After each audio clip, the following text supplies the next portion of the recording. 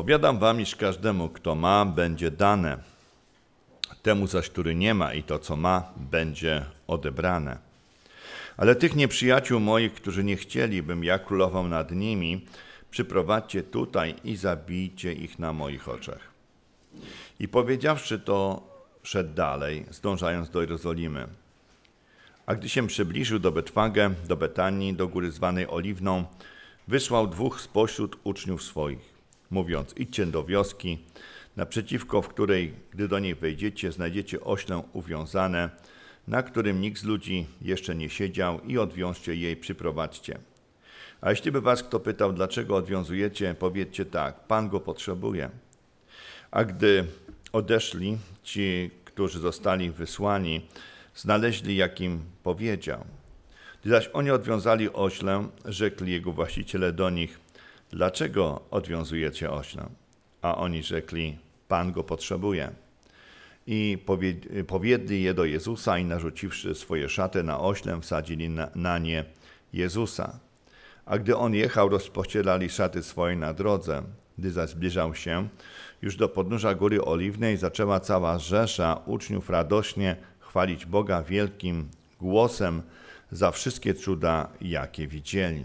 Mówiąc, błogosławiony, który przychodzi jako król w imieniu pańskim, na niebie pokój i chwała na wysokościach. A niektórzy faryzeusze z tłumu mówili do niego, nauczycielu, zgrom uczniów swoich. I odpowiadając, rzekł, powiadam wam, że jeśli ci będą milczeć, kamienie krzyczeć będą. A gdy się przybliżył, ujrzawszy miasto, zapłakał nad nim mówiąc, gdybyś i ty poznało w tym dniu, co służy ku pokojowi, lecz teraz zakryte to jest przed oczami twymi. Gdyż przyjdą na ciebie dni, że twoi nieprzyjaciele usypią wał wokół ciebie i otoczą i ścisną cię zewsząd. I zrównają cię z ziemią i dzieci twoje w murach twoich wytępią i nie pozostawią z ciebie kamienia na kamieniu, dlatego że nie poznało czasu nawiedzenia swego a wszedłszy do świątyni zaczął wypędzać sprzedawców, mówiąc do nich, napisano i będzie mój dom domem modlitwy, wy zaś uczyniliście z niego jaskinię zbójców. I nauczał codziennie w świątyni, arcykapłani zaś i uczeni w piśmie, a także przedniejsi z ludu szukali sposobności, by go zgładzić. Lecz nie znajdowali nic, co by mogli uczynić. Cały lud bowiem, słuchając go, garnął się do niego. I stało się jednego dnia, gdy nauczał lud świątyni i zwiastował dobrą nowinę, że przystąpili arcykapłani uczeni w piśmie wraz ze starszymi i rzekli do niego, mówiąc, powiedz nam, jaką mocą to czynisz, albo kto ci dał moc. A on odpowiadając, rzekł do nich, zapytam ja was o pewną rzecz, a powiedzcie mi, czy chrzest Jana był z nieba, czy od ludzi? Oni zaś rozważali to, mówiąc między sobą, jeśli powiemy z nieba, to rzecze, czemuście mu więc nie uwierzyli? Jeśli zaś powiemy od ludzi, cały lud okamienuje nas, jest bowiem przekonany, że Jan jest prorokiem. Odpowiedzieli więc, że nie wiedzą skąd. Wtedy Jezus powiedział do nich, to ja wam nie powiem, jaką mocą to czynię. Kochani, to jest bardzo ważne, gdyż Pan Jezus Chrystus przed po to, aby wprowadzić Boże Królestwo w nasze życie. Oczywiście to Boże Królestwo funkcjonuje tylko wtedy, jeśli na tronie siedzi król, a tym królem nie jest nasze ego, grzeszne ego, tylko Pan Jezus Chrystus. I kiedy Pan Jezus dał przypowieść o tych minach, to powiedział ludziom, nie, wy nie chcecie, aby Bóg w waszym życiu panował. Dlatego, że cele Boga, które Bóg ma w naszym życiu, są zupełnie inne niż cele, które stawia sobie człowiek. Pan Bóg zajmuje się nie tylko nami indywidualnie, ale zajmuje się też takimi głównymi celami, jakim jest zbór. O tym będziemy za chwilę sobie mówić. Ale zwróćcie uwagę, problemem bardzo częstym jest hedonizm, czyli materialistyczne podejście do życia. Człowiek może w tym życiu mieć jakieś cele, e, które chciałby realizować, i są to cele, gdzie człowiek oczywiście wychodzi poza e, życie, które jest tylko życiem konsumpcyjnym. Czy masz takie wartości? W jaki sposób możemy rozpoznać, czy ty rzeczywiście jesteś człowiekiem wartościowym, czy ty naprawdę masz w swoim życiu coś, co można by nazwać wartością? Kiedy człowiek e, prowadzi hedonistyczny, konsumpcyjny sposób życia, to dochodzi do takiego przekonania, życie jest najważniejsze. Gdyby sprowadzić to do pewnej konkluzji, to powiem tylko tyle, że jeśli nie ma w swoim życiu rzeczy, za które oddałbyś życie, twoje życie jest nic nie warte. Ono jest tylko doczesne, jeśli chodzi o perspektywę wieczności, jest bez znaczenia. Przedłeś nagi, nagi odejdziesz. To znaczy, że niczego w tym życiu nie osiągnąłeś, nie zrozumiałeś, bo twoje życie kończy się wraz ze śmiercią. I to jest poważny problem. Ludzie dzisiaj, którzy uważają, że nie ma dalszej perspektywy życia wiecznego, że nie ma życia po życiu, i to życie jest w Piśmie Świętym w wspaniały sposób pokładane, co po czym następuje i do czego my zdążamy i co jest celem. No celem nie jest ta ziemia, ona przeminie. Nawet niebiosa, Mars i te inne rzeczy, które chcą tam ludzie skolonizować, nie są celem, bo one też przeminą. Ale naszym celem jest nowa ziemia i nowa niebiosa, w których mieszka sprawiedliwość i niebieskie Jeruzalem. Apostoł Piotr powiedział, skoro to wszystko ma ulec zagładzie, jakim my powinniśmy być. I nie tyle tu chodzi o e, święte życie, co życie z celem, jaki masz. Jak ten cel sprawia, że twoje życie staje się, no właśnie, święte, czyli oddzielone do tego świata, od tego świata, jego, tego jako systemu i poświęcone po to, aby realizować główny cel, jakim dla nas jest oczywiście wieczność. I to jest bardzo ważne. Bóg określił e, to życie. Zobaczcie, kochani, gdyby nie było e, tego głównego celu, jakim na, dla nas jest dom Ojca, rodzina Boża, e, nowa niebiosa, nowa ziemia, niebieski Jeruzalem, to praktycznie nie byłoby się po co trudzić. Człowiek, który nie ma celu, on praktycznie żyje z dnia na dzień, bo on nie ma celu w życiu. Zobaczcie, tak samo tutaj na ziemi bardzo często pytam, kim chciałbyś być? Nie wiem. Co chciałbyś osiągnąć? Nie mam pojęcia to jak ty żyjesz, a z dnia na dzień. Ja spotykam takich ludzi dzisiaj w swoim życiu, w, dzisiaj, znaczy w dzisiejszym czasie i mamy e, taką sytuację. To są ludzie, którzy nie wiedzą po co żyją. I to jest poważny problem. Dlatego dzisiaj mówiliśmy o tym właśnie, że człowiek dochodzi do takiego sedna w swoim życiu, że osiąga pustkę. Tam nie ma nic czasie postmodernizmu jest tak, nie ma żadnych wartości. Są tylko antywartości, antykultura i dzięki temu mamy taką sytuację, że jest pustka.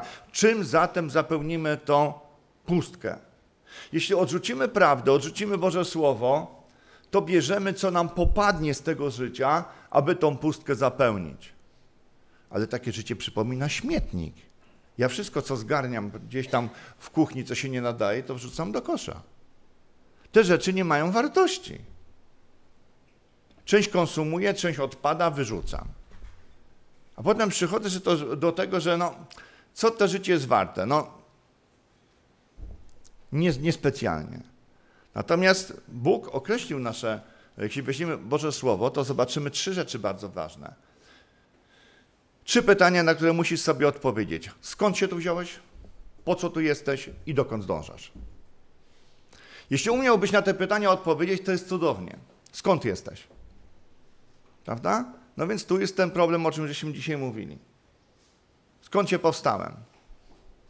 Jakaś zupa, błyskawica, bum, w to zupę i powstałeś, tak? Jesteś człowiek z zupy, czyli prowadzi życie do niczego, tak? To jest nieprawda. Bóg nas stworzył. I to jest zgodne z wszystkimi prawami, które są, są w tym świecie, funkcjonują prawo, prawami naturalnymi. I dzięki Bogu za to. Natomiast po co tu jestem? No właśnie, po to człowiek jest na tej ziemi. Pan Jezus to powiedział, aby poznali tego, którego posłałeś, Jezusa Chrystusa. I aby poznawszy Go mieli wieczne życie, czyli że ten świat, w którym my dzisiaj żyjemy, jest tylko preludium, czyli wstępem do tego świata, który zostanie jeszcze stworzony. Więc dokąd idziesz? I to jest właśnie, jedni widzą grób, a drudzy widzą niebieski Jeruzalem. I my dążymy do tego świata, który Bóg obiecał, który nam stworzy. Ale skąd my to wiemy? Czy to jest prawdą? Jeśli wierzymy w Boże Słowo, to doświadczamy mocy Bożego Słowa, które nas kształtuje. Mnie dzisiaj nikt nie musi przekonywać, że Biblia jest słowem Boga. Bo wszystko, co Bóg mówi w Bożym Słowie, to czyni w moim życiu. I w Twoim życiu, jeśli jesteś człowiekiem wierzącym. Nie ma tu żadnej różnicy, bo Pismo Święte mówi, że wierzący nie ma znaczenia, skąd pochodzi, z jakiej, jakiej kultury, z jakiego narodu. Nie ma znaczenia. Ważne, czy swoje życie zbudował na Chrystusie. Więc kochani, zobaczcie, skoro tu jest mowa o tym, że ludzie przyjmują królowanie Chrystusa, albo go odrzucają, to, albo odrzucają to królowanie, niestety oni sami jak gdyby przeznaczają się. My czasami myślimy w ten sposób, a Bóg to potem będzie tam sądził nasze sprawy. Nie, kochani, to my. To my decydujemy o tym, gdzie spędzimy wieczność. I to jest bardzo ważne. My decydujemy o naszym życiu. Bóg dał nam takie prawo. I to jest to, dlaczego ludzie mówią, a dlaczego Pan Bóg nie mógł tego świata inaczej stworzyć? Ja myślę, że to jest cudowne, że Pan Bóg miał w ogóle odwagę, żeby stworzyć ten świat, wiedząc, jaka będzie jego historia, żeby to wszystko w cierpliwości swoje znosić. No, i to chyba wiedzą rodzice, którzy nie zawsze zadowoleni są z postępowania swoich dzieci. Ale gdyby dzisiaj zastanowić, czy chcą mimo wszystko mieć te dzieci, to chcą mimo wszystko mieć te dzieci i znieść to wszystko, co znoszą. A dlaczego tak jest? No bo jest cel. Nasze dzieci są przedłużeniem naszego życia. My w nich widzimy odbicie siebie. My widzimy, że tak jest przeznaczenie, kontynuacja. Życia nie stwarzamy, życie przekazujemy. Pan Bóg również, mimo że jest Bogiem, życia nie stworzył, On je po prostu przekazał, bo On jest życiem. Jest napisane, w Nim było życie, a życie było światłością ludzi. I to jest właśnie mowa też tutaj między innymi o Chrystusie. I teraz w świecie mamy zupełnie tak zwany świat parodii. Taki antykultury, antywartości. I to, co dzisiaj się nazywa co czymś, wcale tym czymś nie musi być. I tu właśnie o tym czytamy. Czytamy tak. Szedł do Jerozolimy. Co to jest Jerozolima? Co znaczy w ogóle słowo Jerozolima? Co znaczy ta nazwa tego miasta? Miasto pokoju. Czy był pokój w Jerozolimie? No nie było. Widzicie, kochani, to jest pewien problem. Mamy problem antywartości. Nazwa mówi miasto pokoju, a wartość mu, y, prawdziwa jaka jest? Niestety tam pokoju nie ma. A więc pokój nie jest tam wartością, która, którą oni mogą czerpać i cieszyć się. Nie, oni mogą pragnąć tej pokoju. A więc Pan Jezus Chrystus przyszedł tutaj, na tę ziemię, aby dać pokój tym wszystkim, którzy wierzą. Co to znaczy? O, osiągnięciem podstawowym naszego życia jest osiągnięcie pokoju z Bogiem. I to możemy osiągnąć tylko przez Pana Jezusa i wiarę. Nie ma innej możliwości.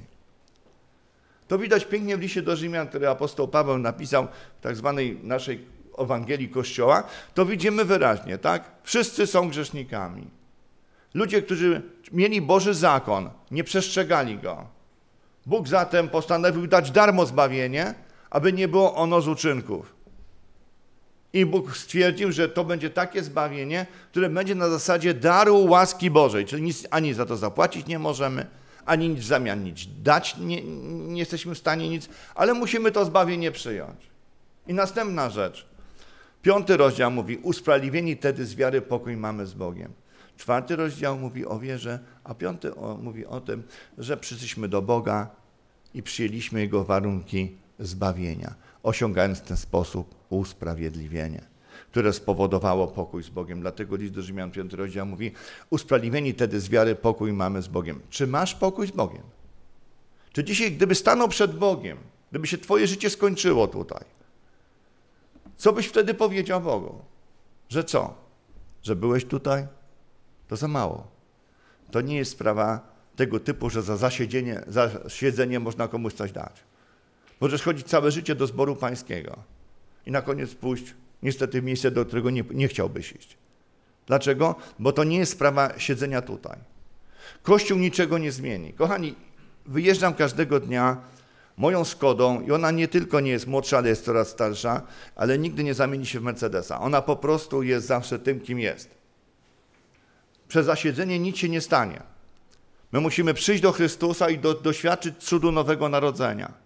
Ma, to jest możliwe tylko w dwóch, przez dwa aspekty. Pierwszy, przyjmujesz to, to Pan na Golgocie dla ciebie uczynił. I drugie, składa swoje życie, czyniąc go Panem swojego życia. I wtedy to zbawienie staje się Twoim udziałem. I potem widzisz, jak to działa w Twoim życiu. Czy to nie jest jakaś religia, że mówił chłop do obrazu, obraz do niego ani razu, tylko to jest żywe, prawdziwe Boże Słowo, które absolutnie, jak mówi apostoł Piotr, uwierzyłem, uwierzyliśmy i poznaliśmy, że Ty jesteś Chrystus, Syn Boga żywego. Tak się zaczyna właśnie panowanie Chrystusa. Następna rzecz, zobaczcie. Przybliżył się do Betfage. E, dom niedojrzałych fig. Tak znaczy to, e, to ta nazwa tej miejscowości. Dom niedojrzałych fig. Naprawdę? A przecież kiedy Pan się zbliżył do, fig, do drzewa figowego, to co tam było? Nic nie było poza liśćmi, bo niedojrzałe figi są zawsze zwiastunem tego, że będą kiedyś dojrzałe. Ale jeśli ty na przykład na początku lata idziesz na do drzewa i patrzysz, że nawet nie ma zielonych zalążków, to wiesz, że na tym drzewie nic nie, dalej nie będzie. Ja mam winogron za moim oknem, mojej kuchni. Siedzimy z małżonką i patrzymy przez okno i mówimy: O, zobacz, dziś, w tym roku to będzie urodzaj. Zobacz, ile tych kulek jest na tym winogron, na tym, e, tej kiści, ile jest tak. One są takie malutkie, teraz coraz większe, coraz większe, coraz większe, ale już widzimy, że będzie owoc, prawda? I to jest bardzo ważne. E, tutaj mamy drzewo zapowiadające rozwój, owocowanie, tak? Ale niestety okazuje się, że tam nie ma żadnego owocu. A dlaczego? Dlaczego twoje życie jest bezowocne? Dlaczego twoje życie jest beznadziejne tak naprawdę? Z prostych go powodów. Bo beze mnie nic uczynić nie możecie. Jeśli Pan Jezus Chrystus jest gwarancją tego, że będąc w naszym życiu, my wydajemy owoce, to naprawdę nasze życie jest jak ten dom, w którym jest pełno owocu i ten owoc cały czas dojrzewa, aż do momentu, kiedy będzie, czy to będzie zbiór fig, czy na przykład winogron, czy wszystko zgodnie ze swoim tym stanem dojrzałości, prawda? Czy dochodzimy do dojrzałości. Zobaczcie, przychodzimy do domu Betanii. No, Betania. Dom utrapienia. Cudowne. Czemu dom, jest, to, jest dom utrapienia taki cudowny w duchowym znaczeniu? Bo ofiarą Bogu miło jest duch skruszony. Sercem skruszonym nie zgardzisz i zgnębionym nie wzgardzisz Boże. Ale to się okazuje zupełnie coś innego ten dom Boży wcale nie jest domem utrapienia. Oni wcale nie boleją nad swoimi grzechami, nad swoim sposobem życia. Nie, oni w ogóle nad tym nie boleją. Ale jest radość, śpiew, wesele i bawmy się, grzechu nie ma i tak dalej. Prawda? Jak dzisiaj ten świat funkcjonuje? Jest tyle tragedii i nieszczęść w tym świecie, ale świat się bawi, świat się cieszy, świat parodiuje nawet z rzeczy świętych. Nie ma dla niego żadnego hamulcu, Dlaczego? Bo on uważa, że będzie tak jak w Słowie Bożym. Zamiast płaczu i narzekania, to zażegnanie bydła, śpiew, tańce i wiele radości. Z czego? Z nieprawości. Z nieprawości. I dlatego ludzie mówią, dlaczego ten świat się może nie chce opamiętać? Kochani, jest dzisiaj wielu takich tam pseudoproroków, którzy mówią, będzie przebudzenie. No ale jakie? Chyba z ręką w pewnym naczyniu będzie przebudzenie. Jeśli człowiek nie myśli o pokoju, jeśli człowiek nie myśli o tym, aby jego życie miało wartość, aby nie żyć tylko dla siebie, egoistycznym, hedonistycznym sposobem życia, jeśli człowiek nie smuci się, że nie widzi prawdy w swoim życiu, nie widzi e, godnego życia, on się z tego nie cieszy, ani się też nie smuci, że, że tego nie ma w jego życiu, ani cieszy się na myśl o tym, że może to mieć dzięki Chrystusowi, to jak ten świat się może nawrócić? Jak ten świat się może zmienić? No nie ma takiej możliwości. Następna rzecz, zobaczcie. Pan Jezus podchodzi do, na, do górę oliwną. Sama nazwa mówi góra oliwna. Na górze Pana jest zaopatrzenie. W jaki sposób my czerpiemy moc do życia? Pierwsza sprawa to jest modlitwa. Modlitwa, która sprawia, że my się otwieramy na Boga. Bóg wypełnia nasze życie. Stajemy się oczami Boga, uszami Boga, językiem Boga, rękami Boga, nogami Boga. Czyli pełnimy wolę Bożą, którą Bóg dla nas przygotował. Tak jak Pan Jezus Chrystus. Największe rzeczy, jakie Pan odbierał właśnie były na Górze Oliwnej. Jest napisane, że On tam przyjdzie, na tą Górę Oliwną, aby sądzić żywych i umarłych. Więcej, żeby, aby sądzić ten świat. Oczywiście wszystkiego się ludzie spodziewają, wszystkiego się boją poza jedną rzeczą. Czy świat się boi Chrystusa, czy świat mówi, żyjmy porządnie, bo Pan Bóg przyjdzie i osądzi nas? Nie. Oni Boga wyrzucili poza margines swojego życia. Może ty też.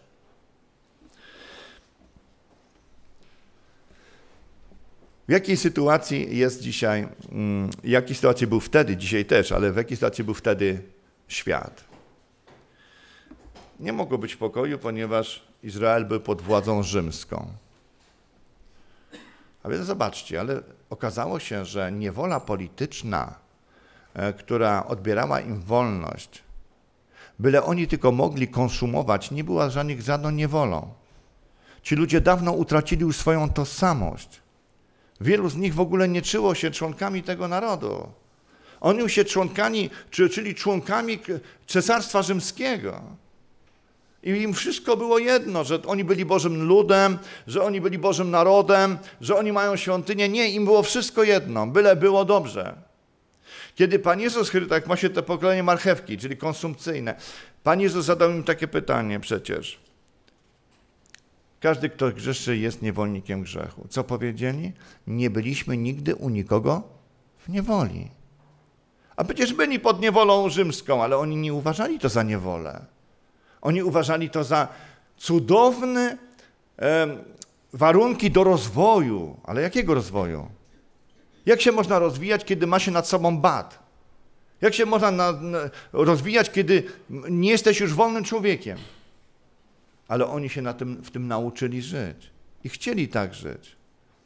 Kochani, to nie było tak, że rozbiory naszego, naszej, naszego kraju, kiedy naszego państwa, tak, czy królestwa, które nastąpiły, to nie myślcie, że ktoś nas napadł i nas rozdarł na, na szczępę. Nie, tak nie było.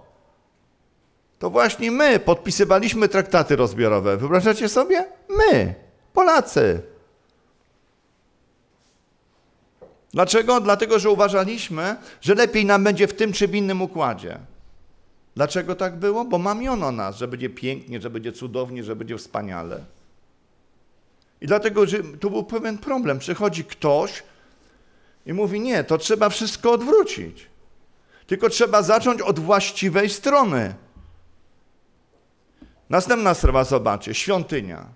No, świątynia. No, mamy świątynię, kapłani sprawują swoją władzę, E, uczeni e, w piśmie popisują się swoją znajomością e, teologii, ale coś dziwnego, nie znają Boga, oni nie mają z nim społeczności.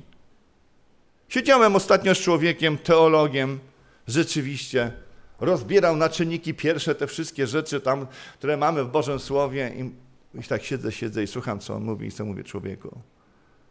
Wiem, wiem, wiem, wiem, że wiesz, co wiesz, tylko nie znasz Pana, nigdy Go nie widziałeś. I to jest ten poważny problem, że kiedy współprowadzimy zejść na jakieś duchowe rzeczy, to on o nich miał zielonego pojęcia. Natomiast Biblia zna bardzo dobrze. Tak samo jest, kochani, tutaj ta sama sytuacja. Uczeni w piśmie i kapłani, oni nagle okazuje się, że oni się połączyli razem z tym systemem, jak czytamy dzisiaj, że to jest tak zwany związek ołtarza z, z, z, z, z tronem, tak? czyli władza z religią. I nagle przychodzi Pan Jezus i on mówi zaraz, zaraz. Ale czy wy żyjecie Słowem Boga? Czy wy rozumiecie Słowo Boga? Czy Bóg do was mówi? Czy wy przez to Słowo oglądacie Pana i mówi do nich, ani głosu Jego nie, nie słyszycie, ani postaci Jego nie widzicie? Bo nie macie żywota w sobie. Widzicie, kochani, martwa, religia martwa czyni martwymi ludzi. ludzi. Ale my potrzebujemy czegoś więcej. Potrzebujemy żywego słowa, które ożywi nasze życie. I to jest słowa Ewangelii. Nam to Słowo Boże spoczęło, nie nowa religia, nie nowy kościół, nie rozrywkowy zbór, tak, w którym będziesz się czuł świetnie i będziesz rozerwany. Ty potrzebujesz Boga, Jego Słowa, abyś mógł z Nim związać swoje życie. I ze Słowem, i z Chrystusem i żeby zrealizować te swoje cele, czyli zaprowadzić pokój, dalej, dać możliwość wzrastania w Bogu, w wierze, sprawić, aby radość obróciła się w prawdziwą Bożą radość, sprawić, abyśmy byli pełni Ducha Świętego. Pan Jezus wsiada na osła. Czytamy z innych Ewangelii, że to była ośnica i to jeszcze karmiąca. Do wszystkiego można byłoby takie zwierzę zaprzęgnąć, ale na pewno nie do ciężkiej pracy, a już na pewno nie do szarży na, na, na linię wroga. To jest niemożliwe. Jeśli ktoś taki usiadł na tą, tą oślicę, która była karmiącą i przyniósł źrebie, to było wiadomo, że Pan Jezus nie przychodzi z zamiarami wojennymi, ale przychodzi z zamiarami pokojowymi. Co Bóg chce zrobić w Twoim życiu? Abyś osiągnął pokój z Bogiem. Aby Twoje życie było pełne owocu, abyś miał wartości, za które jesteś gotów oddać swoje życie. Aby stał się człowiekiem, którego Bóg smutek z powodu grzechu, jaki masz w swoim życiu, aby zamienić w radość, abyś miał cel i abyś miał realną społeczność z Bogiem. Od czego Pan Jezus zaczyna? Od zaprowadzenia pokoju między nami a Bogiem. Kochani, nic się nie zmieni w naszym kraju. Nic się nie zmieni w tym świecie, się nie zmieni, jeśli nie, zacznie, nie zaczniemy od siebie. Jeśli w naszych sercach, tutaj ludzi słuchających tego, co mówimy, nie zapanuje pokój z Bogiem, dopiero wtedy mamy zupełnie inne spojrzenie na to wszystko, co się dzieje. I wtedy już wszystko widzimy wyraźnie. To, czego Izrael nie widzi, że jest w niewoli systemowej, tak, że rodzi się system totalitarny. Nazwijmy go jak chcemy, czwartą rzeszą komunizmem, nie ma znaczenia. Pismo Święte o tym mówi, że będzie jeden rząd światowy, a ludzkość będzie zniewolona. A co ta ludzkość zniewolona będzie wołać? Pamiętamy? Pokój i bezpieczeństwo. A Pan mówi, a wtedy przyjdą na was nagłe bóle jak na kobietę brzemienną. To jest problem bardzo poważny. Następna sprawa, zobaczcie. Za tą marchewkę ludzie oddają wszystko. Swoją wolność, prawa obywatelskie. Tak. Są gotowi zrezygnować wszystkiego. To jest pewien problem. Tak? Macie marchew, oddajcie wszystko, co macie. Dla diabła nie ma to żadnego znaczenia. Ale dla nas ma to bardzo wielkie znaczenie. Kiedy patrzymy dalej w Boże Słowo, to widzimy wyraźnie, że Pan idzie do tej Jerozolimy na tym oślęciu, aby zaprowadzić pokój, aby zamienić religię na coś innego, na prawdziwą, realną społeczność z Bogiem. Tak.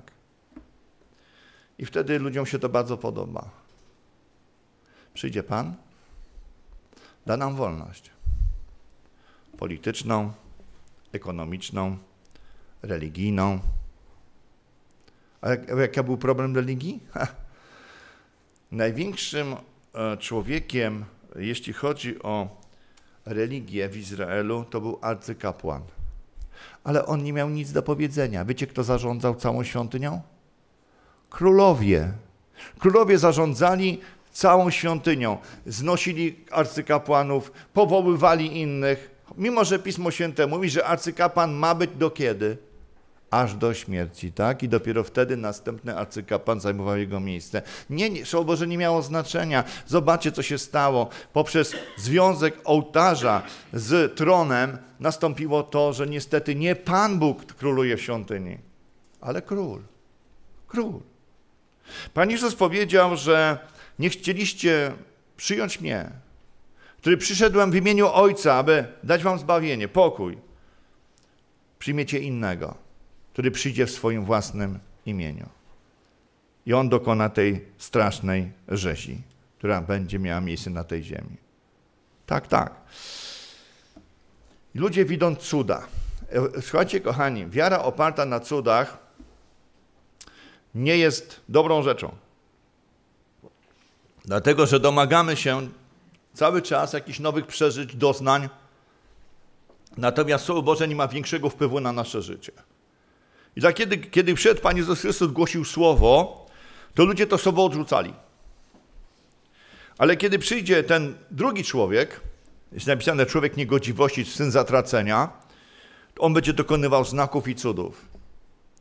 Zamiast Słowa Bożego będzie dawał ludziom rozrywkę. Czego chcecie? Co jeszcze chcecie?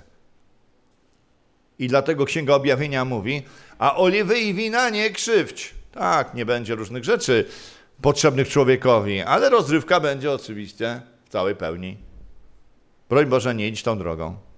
Dlatego dzisiaj nie ma słowa, ale przywódcy dzisiaj religijni prowadzą ludzi do rozrywki. Chrześcijaństwo staje się rozrywką, wiecie, przyjdą, rozerwą się, poklaszczą, pośpiewają, poskaczą i czują się cudownie jak małpeczki, zadowolone. Dostali wszystko, co chcieli. Czują się rozerwani, czują się docenieni, czują się absolutnie spełnieni w tym. To jest poważny problem. Kochani, Pismo Święte mówi, że niestety, ale będzie zupełnie inaczej. Kiedy Pan Jezus Chrystus przychodzi jako król pokoju, aby zaprowadzić pokój, to ludzie tego króla pokoju odrzucili, jak mu powiedziałem, przyjdzie inny. I on jest opisany w szóstym rozdziale Księgi Objawienia. Już dzisiaj niektórzy niestety widzą w nim Pana Jezusa. No nie, nie wiem jak to będzie, jak ten Chrystus przyjdzie, pewnie pójdziecie za nim. Oni widzą tam Pana Jezusa. Za tym białym koniu, nie, nie, to nie jest, to nie jest zwierzę pokojowe, nie, nie, nie, to jest zwierzę wojenne. E, on idzie podbijać wszystkich pod swoje stopy. On chce naśladować Pana Jezusa, który siedzi na tronie i czeka, aż Bóg, Ojciec, podporządkuje wszystkich w tym świecie Chrystusowi, a ci, którzy nie podporządkowani będą, no niestety będą musieli pójść w swoje miejsce. To jest poważny problem. I zobaczcie, co za tym człowiekiem idzie. On siedzi na białym koniu, a za nim idzie wojna. A za wojną głód. A za głodem zaraza. A za zarazą dzikie zwierzęta. A co tam to dzikie zwierzęta są potrzebne? Dlaczego są w ogóle wymienione? Kochani, on ze świata zrobi jedno wielkie pobojowisko będzie tak wiele ofiar, że nikt nie będzie w stanie ich pogrzebać. W związku z tym dzikie zwierzęta będą dokonywały tutaj, niestety, na tych ludziach, tych aktów pożerania po prostu, tych zwłok. I to jest poważny problem. Nie chciałbym, żeby się spełniło to, co mówi jeden z wieszczy polskich, rozdziobią nas kruki i, i wrony. Być może oni mieli taką nadzieję. My mamy nadzieję pochwycenia, że Pan Jezus przyjdzie, zabierze nas do siebie. Co mówili ludzie dalej? Błogosławiony, który przychodzi jako król w imieniu pańskim, na niebie pokój i chwała na wysokościach. No cóż, kochani, zobaczcie, znów takie antiteza. Czy król może być nie panując? Oczywiście. Weźmy na przykład króla Anglii, Karola. Czy on ma realną władzę w Wielkiej Brytanii? Czy on naprawdę czymś tam zarządza? A skąd? Marionetkowy król nie ma nic do powiedzenia. Tak samo jak i dzisiaj w chrześcijaństwie. Wielu mówi, Jezus jest moim Panem, ale on nie ma nic do powiedzenia, bo tak naprawdę to Panem jest ego człowieka, który niestety siedzi na tronie. Nie? I to jest właśnie parodia. Oni by chcieli takiego króla, co by dawał im wszystko, ale nie miał nic do powiedzenia w ich życiu. O, i takiego króla to ludzie by chcieli. Daje wszystko, niczego zamian nie wymaga. W związku z tym faryzeusze z tłumu mówili, zgrom uczniów swoich, dlaczego oni tak mówią? To jest pewien problem. Dlaczego oni tak mówią? Przecież w tym świecie to rządzi cesarz, w tym świecie rządzi król Izraela. Jakim prawem ty możesz powiedzieć, że Jezus jest królem? Jak to jest? No i teraz komu mamy się podporządkować? No i tu mamy pewien problem, ponieważ mamy trzy źródła prawa, Niestety będę musiał za chwilę skończyć. Mamy trzy źródła prawa: prawa boskie, prawa naturalne i prawa stanowione przez człowieka. I teraz to jest rzeczywiście fakt. W jaki sposób, w jakiej hierarchizacji poukładamy te prawa? Według jakiej? No i ten świat chce powiedzieć tak, nie.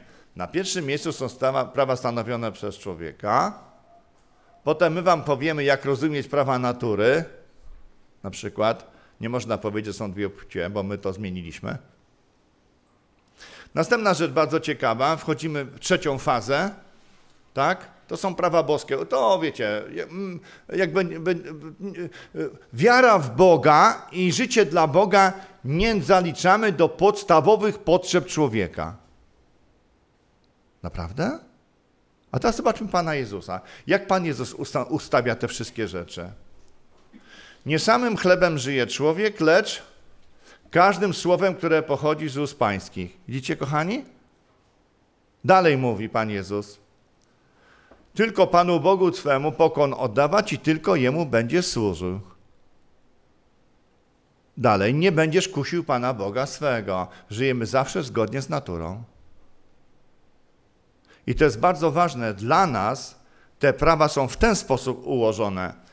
Prawa boskie, prawa naturalne i prawa ludzkie stanowione przez człowieka. Zawsze jest dwa do jednego. Więc, kochani, jeśli mamy bunt, bunt władców tego świata przeciwko Bogu, to uważajcie, Pan nadchodzi. Natomiast my, jako wierzący ludzie, możemy podporządkować się albo Chrystusowi, albo temu systemowi, który się tworzy. Tak, tak.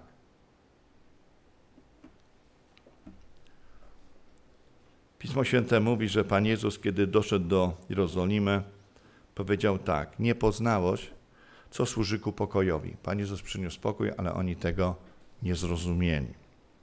Nie chcieli. Zakryte było przed ich oczami. Co zakrywało im oczy, że oni tego nie widzieli?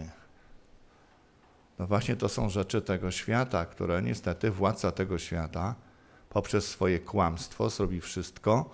Jest napisane w liście do Koryntia w czwartym rozdziale, że władca tego świata zaślepia umysły niewierzących, aby nie świeciło im światło o chwale Chrystusa, który jest obrazem Boga. Widzisz, co to jest mowa? O czym?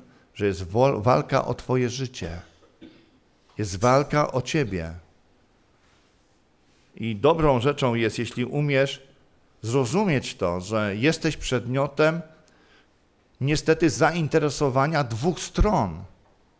I walka od ciebie się odbywa w ten sposób, że albo idziesz w otchłań, albo idziesz w kierunku Boga i pokoju. Pan mój, przyjdą na ciebie takie dni, że twoi nieprzyjaciele usypią wam wokół ciebie, otoczą cię, stysną cię zewsząd. Co to znaczy? Kochani, okazało się, że uczeni w piśmie, kapłani, którzy byli elitą tego kraju, którzy zawsze grali w jedną, do jednej bramki, nagle okazało się, że ludzie już mieli tego dosyć. I zawsze jest tak, że jak ludzie mają tego dosyć, to dochodzi do głosu stronnictwo tak zwanych, Pan Jezus Chrystus nazwał ich gwałtowników. Oni doszli do władzy, zrobili powstanie, przyszli Rzymianie, otoczyli miasto Jeruzalem, potem mury zburzyli i miasto spalili i zburzyli, a ludzi wycięli w pień, a krew płynęła rynsztokami ulic. Taka rzeź była dokonana. Jedni mówią, że zginęło pół miliona, drudzy może 750 tysięcy. Ostatnio gdzieś wyczytałem, że nawet ktoś tam obliczył, że mogło być nawet milion dwieście. Uważacie sobie? W jednym momencie stało się coś takiego, że krew ich płynęła e, rynsztokami ulic. Dlaczego? Z powodu takiej błahej rzeczy. Nie przyjęli miłości prawdy, która mogła ich zbawić. Zlekceważyli tak wielkie zbawienie, tak? I myślę, nie, bajki, to nigdy na nas nie przyjdzie. Spójrz na te mury, spójrz na te kamienie. Pamiętacie te słowa, które mówili uczniowie do Pana Jezusa? Pan mówi, zobaczycie, nie pozostanie kamień na kamieniu, który by nie był rozwalony. Spełniło się? No oczywiście się spełniło. Dlatego mówi, zrównają z ziemią i nie pozostanie nic, ponieważ nie, nie e, poznałoś czasu nawiedzenia swego. Koni, co to jest czas nawiedzenia? Gdy mam dzisiaj e, zadać takie pytanie, co to jest czas nawiedzenia? Czasami jest tak, że ktoś mówi, ujrzałem ją i się w niej zakochałem. Tak? Czyli miał taki dzień, który spotkał kobietę swojego życia na przykład. Nie? Znacie takie powiedzenie? Ze zbawieniem jest bardzo podobnie. Żyjemy sobie w tym świecie i nagle Pan Jezus Chrystus staje na naszej drodze, mając tą wielką, wspaniałą ofertę. I ludzie do tego różnie podchodzą, niestety. Dlatego czytamy tutaj w Bożym Słowie, niestety, nie poznałoś czasu swego nawiedzenia. Ludzie mówią, idź swoją drogą, ja pójdę swoją. I to jest bardzo ważne. Jeśli spotkamy się z Chrystusem prawdziwie, to możemy zawsze iść razem, albo nasze drogi mogą się rozejść. I to jest ten dzień. Dlatego, że spotkanie z Chrystusem i zbawienie w Chrystusie nie należy do procesu, ale do aktu. Potem jest proces, na przykład uświęcenia, czyli chodzenia z Bogiem, tak? Ale musi być taki dzień, w którym idziemy razem przez życie. Niestety jedni nie chcieli tego przyjąć, chcieli żyć swoim własnym życiem, a drudzy nie byli tym zainteresowani. Dlaczego? Dlatego, że oni woleli mieć religię, bo w religii jest wszystko uporządkowane, wiemy z czego możemy czerpać interesy, wiemy z czego możemy czerpać pieniądze i zyski, wszystko jest poukładane i niech nikt nam, broń Boże, tutaj nie wchodzi ze Słowem Bożym, bo mogłoby się okazać, że będzie problem. I dlatego czytamy, że ci, którzy zwiastowali Boże Słowo i dbali o Boży interes, tak jak Pan Jezus Chrystus, oni myśleli o tym, jak Go zabić. I tak jest do dzisiaj, kochani. Tak jest do dzisiaj. Jeśli ktoś wchodzi w system religijny, który już jest skostniały, gdzie wszystko jest poukładane, gdzie wszyscy już wiedzą, co jest, po ile i dlaczego, i nagle wchodzi ktoś ze Słowem Bożym, mówi, no nie, ten system nie funkcjonuje dla Boga. To jest zupełnie coś obok Boga istniejącego. To wtedy niestety taki system zamienia się w jaskinię zbójców. Takiego człowieka trzeba natychmiast stąd usunąć. On nam przeszkadza, on psuje nasze interesy. Dlatego Pan Jezus Chrystus, kiedy wszedł do świątyni, czytamy, że powywracał wszystko, usuwał wszystko z tej świątyni, wyrzucał tych wszystkich przekupniów i pokazał, że dom Boży to miejsce, gdzie się uwielbia Boga, gdzie się uwielbia Chrystusa, gdzie dokonuje się zbawienie ludzi, gdzie dokonuje się uświęcenie człowieka, a nie jest to jakieś przedsiębiorstwo, gdzie się robi biznesy tutaj, tak? To jest bardzo ważne. Nigdy nasza wiara nie powinna osiągnąć takiego rozwoju jak firma, która po prostu niestety pomnaża pieniądze. Nigdy czegoś takiego być nie może. Niestety ludzie pod płaszczykiem nawet religii, nawet wiary w Boga potrafią robić interesy, bo pekunian on olet, pieniądz nie, nie śmierdzi. Więc ludzie są gotowi zrobić wszystko, aby móc na tym zarabiać. Nie wiem, czy wiecie o tym, kto tak powiedział. To był człowiek, który zbudował szalety w Rzymie. I ktoś mi powiedział, co ty, z szaletów czerpać zyski? On wtedy powiedział, pieniądz nie śmierdzi. Więc ludzie są gotowi na wszystkim zarabiać. Dlatego Pismo Święte mówi, nie dajcie się niczym zniewolić. Jesteśmy wolnymi ludźmi i nie dajmy się zniewolić ani pod względem politycznym, ani pod względem ekonomicznym, ani pod względem religijnym, bo Pan nas po to zbawił, abyśmy w tej wolności żyli. I dlatego każdy z nas musi mieć taki dzień, kiedy musi zastanowić się nad sobą, kim jestem, zgubionym grzesznikiem. Co przyniósł dla mnie Pan Jezus Chrystus? Zbawienie przez wiarę w Niego.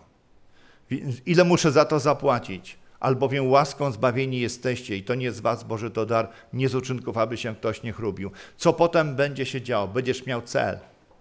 Chrystus stanie się twoim życiem, stanie się twoim wzorem. Tak, stanie się dla ciebie celem, do którego będzie zdążał, aby stał się podobny do Niego i On stanie się mocą twojego życia. I to wtedy będzie sens, aby żyć, bo wszyscy my jest napisane, oczekujemy nadejścia przyjścia Pańskiego, który nas uratował przed nadchodzącym Bożym gniewem. Kochani, kiedy to się wszystko dla nas skończy, dla świata się dopiero zacznie. I dlaczego? Z powodu tylko jednej rzeczy. Nie przyjęli miłości prawdy, która mogła ich zbawić. Nie przyjęli ratunku. Chcieli żyć krótko, ale dobrze nie po Bożemu, ale po swojemu. Ale niestety za każdy obiad, mówią Francuzi takie przysłowie, za każdy obiad trzeba zapłacić. A Pismo Święte mówi, że co człowiek sieje, to i rządź będzie. Więc potem nie, nie zwalajmy na Boga, że Bóg jest okrutny, że Bóg jest e, zbyt surowy. Nie, Bóg zrobił wszystko, aby zbawić człowieka. A człowiek zrobi wszystko może czasami, żeby właśnie to zbawienie zlekceważyć. No i cóż potem? Pismo Święte mówi, to gdzie znajdziemy się my, jeśli zlekceważymy tak wielkie zbawienie? No cóż, kochani, niech Pan Jezus będzie uwielbiony, Jego imię też. Chwała Jemu za wszystko. I pamiętajmy, skąd jesteś, kim jesteś i dokąd idziesz. Chwała Bogu za to. Amen.